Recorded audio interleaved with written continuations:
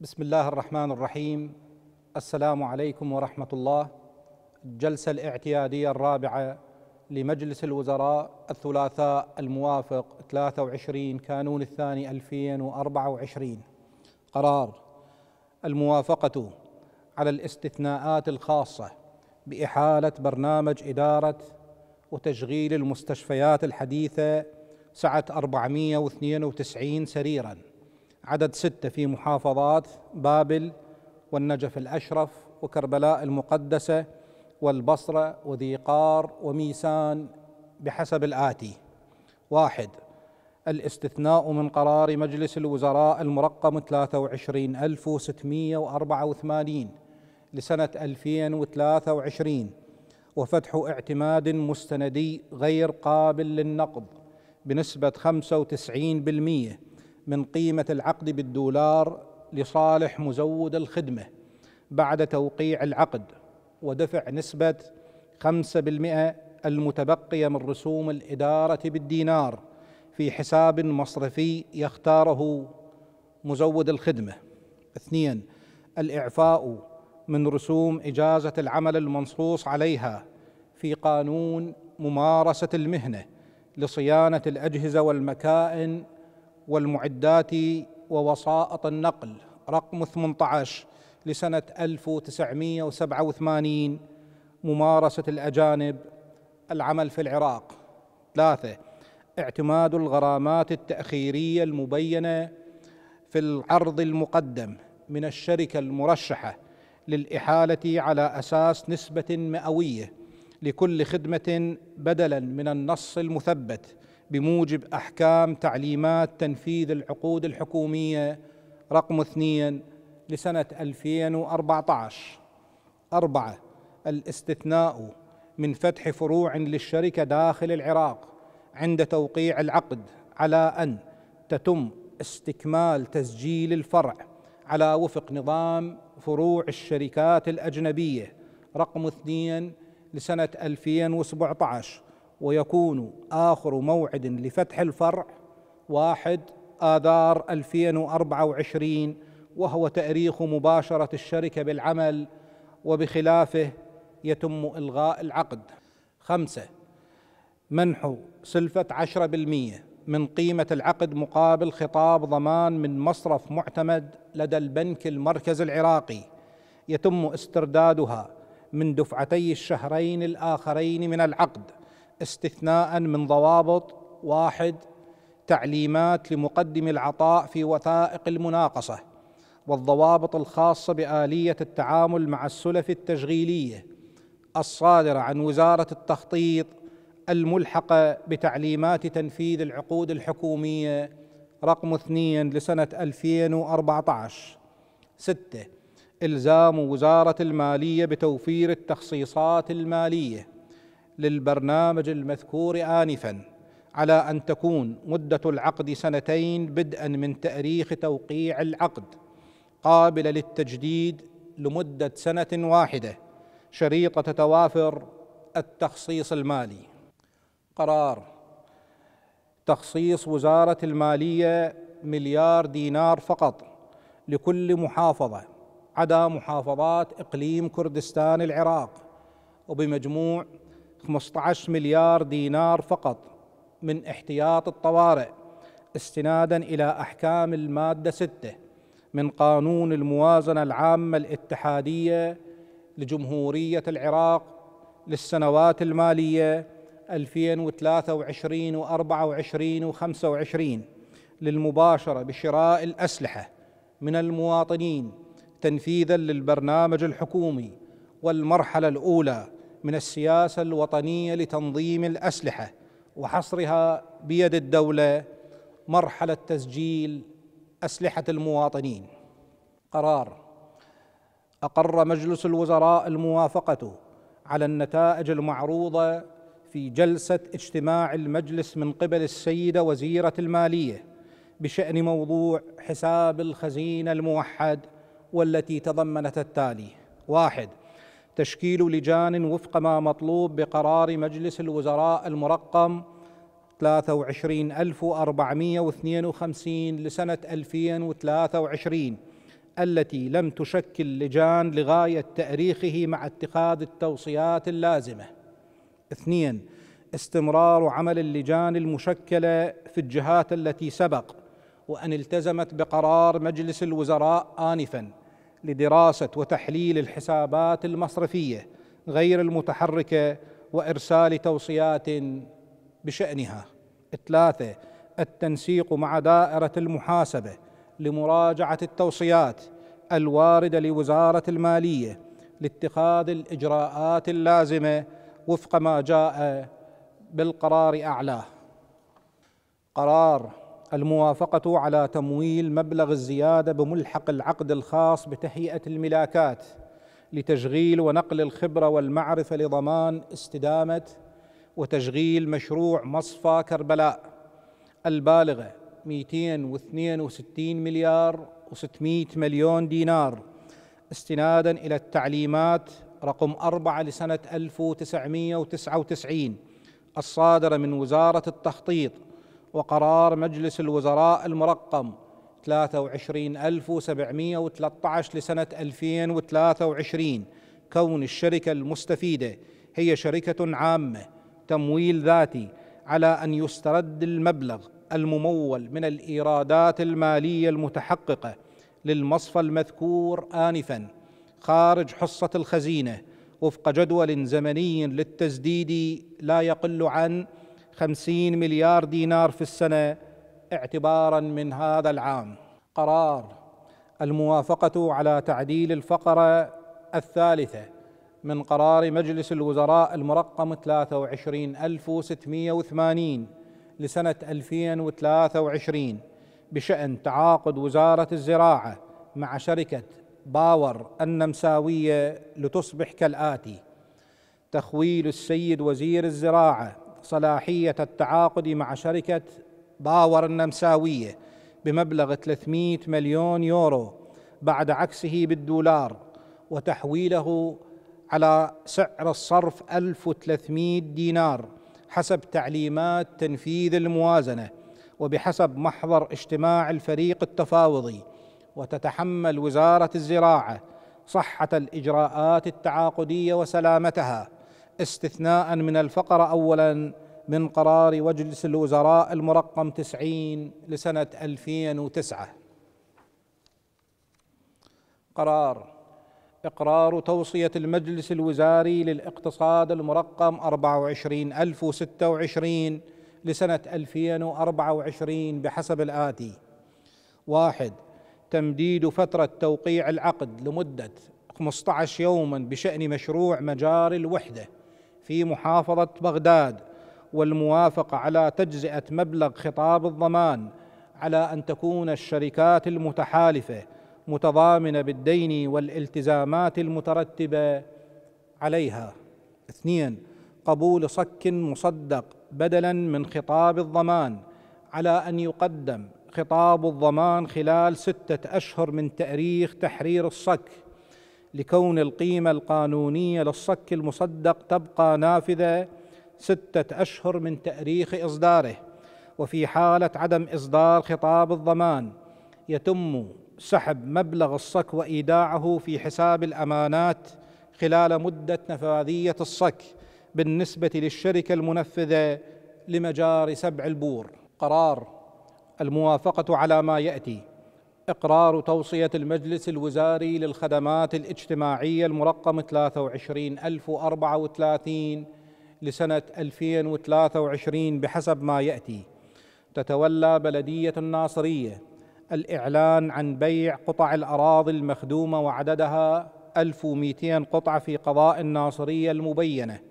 في كتاب محافظة ذي قار في عشرة تشرين الأول 2023 من خلال مشروعات صندوق إعمار ذي قار وبيعها بالمزايدة العلنية على أن تتولى بلدية الناصرية دفع كلف الخدمات إلى الصندوق المذكور آنفا مقابل الخدمات والبنى التحتية التي أنشأها وتقيد المبالغ التي يتم استيفاؤها عن بيع العقارات لدى الجهة المالكة على أن يتم استقطاع مبلغ كلفة الخدمات للأحياء المخدومة لصالح صندوق إعمار ذي قار لقاء الخدمات المقدمة من قبلهم على شكل أمانات. قرار الموافقة على ما يأتي. واحد زيادة نسبة الاحتياط لمقاولة إنشاء جسر شمال الناصرية ومقترباته. المرحلة الثانية أحد مكونات مشروع إنشاء جسر شمال الناصرية ومقترباته المدرج ضمن جداول الموازنة الاستثمارية لوزارة الإعمار والإسكان والبلديات والأشغال العامة دائرة الطرق والجسور لتصبح 23.1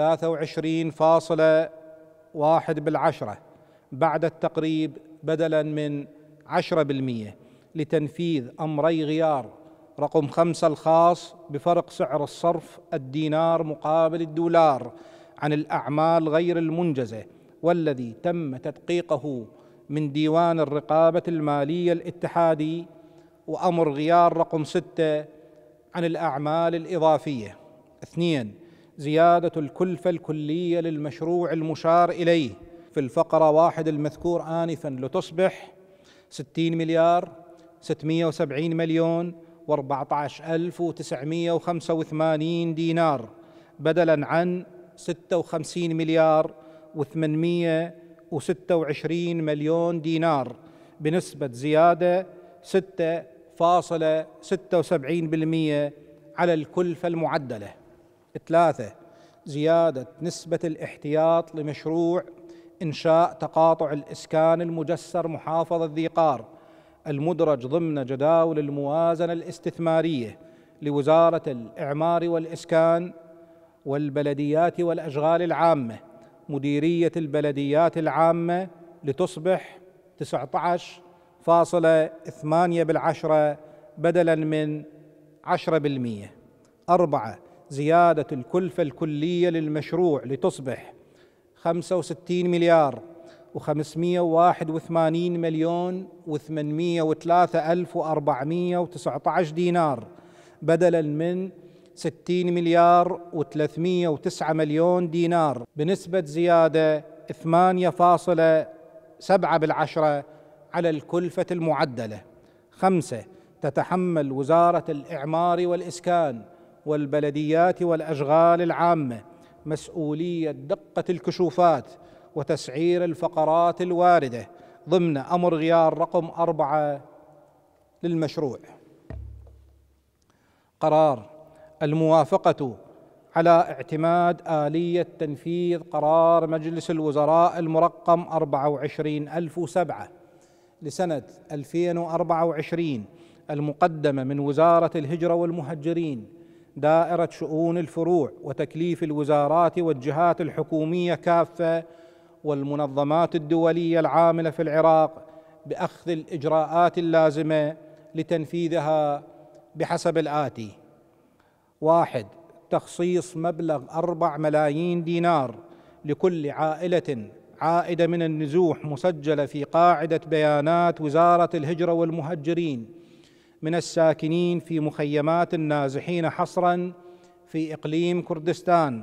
تشجيعا لهم على العودة الطوعية للخروج من المخيمات والعودة الطوعية إلى مناطقهم الأصلية أو أي منطقة أخرى يختارها النازحين بعد صدور قرار مجلس الوزراء المرقم 24007 لسنة 2024 اثنين إطلاق برنامج عمل بين وزارتي النقل والهجرة والمهجرين خاص بتشغيل العاطلين العائدين من النزوح الساكنين في مخيمات إقليم كردستان بعد صدور قرار مجلس الوزراء 24007 ورفع الصيغة النهائية لتفاصيل البرنامج من ممثل وزارة النقل في اللجنة العليا لتنفيذ هذا المشروع من وزارة النقل الشركة العامة لنقل المسافرين والوفود. ثلاثة إلزام وزارة التربية بتخصيص نسبة من تعيينات العقود المزمع إطلاقها في الوقت الحالي بما يعادل 2% من كل عنوان وظيفي في محافظات نينوى وصلاح الدين والأنبار. تخصص للعائدين من النزوح في مخيمات الإقليم بعد صدور قرار مجلس الوزراء المرقم 24007 مساواة بما تم منحه. من نسبة تعيينات للأقليات لدعم عودة النازحين الساكنين في المخيمات. أربعة تكليف وزارة الهجرة والمهجرين بتزويد قيادة العمليات المشتركة قائمة بأسماء القاطنين في مخيمات النزوح في إقليم كردستان على أن تقوم القيادة والأجهزة الأمنية كافة بإكمال عمليات التدقيق الأمني.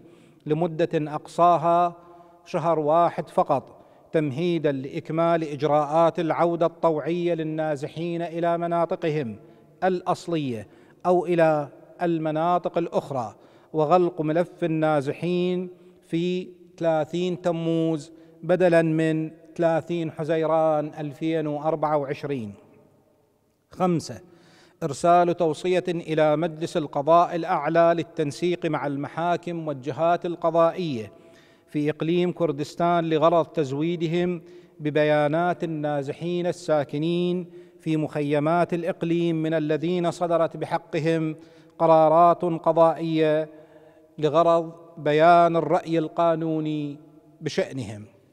ستة الإيعاز إلى صندوق إعادة إعمار سنجار وسهل نينوى وصندوق إعادة إعمار المناطق المحررة لبناء قطعتي الأرض في قضاء سنجار وقضاء الموصل كدور واطئة الكلفة للعائدين حصرا من النازحين الساكنين في المخيمات والتي تم استحصال الموافقات المطلوبة لها من السيد محافظ نينوى سبعة الإيعاز إلى صندوق إعادة إعمار المناطق المحررة بتخصيص نسبة من ميزانيته إلى قضاء سنجار. كونه من المناطق المنكوبة علما إن المبلغ المخصص له ضمن إعادة إعمار سنجار وسهل نينوى لا يكفي لإعادة إعمار القضاء للأضرار الكبيرة التي لحقت به. ثمانية تفعيل اللجان الفرعية المؤلفة في المحافظات للتنسيق مع وجهاء العشائر. ورؤساء الإدارات المحلية في المحافظات لحل المشاكل العشائرية والاجتماعية في مناطق النازحين لتسهيل مهمة عودة العوائل النازحة في مخيمات إقليم كردستان إلى تلك المناطق. تسعة تكليف وزارة العمل والشؤون الاجتماعية بشمول العائدين من النزوح في مخيمات إقليم كردستان بعد صدور قرار مجلس الوزراء 24007 ببرامج راتب إعانة الحماية الاجتماعية والمعين المتفرغ للمعاقين والقروض الميسرة للعاطدين بدون فوائد استثناء من الضوابط المعمول بها في الوزارة.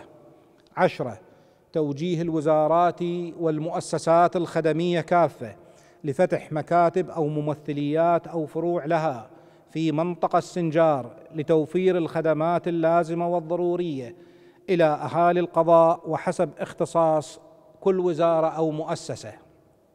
11 إلزام وزارة المالية إطلاق التعويضات للدور المهدمة في المحافظات للنازحين الساكنين حصرا في مخيمات إقليم كردستان وخصوصا في قضاء سنجار لتشجيعهم على العودة الطوعية إلى مناطقهم الأصلية أو أي منطقة أخرى.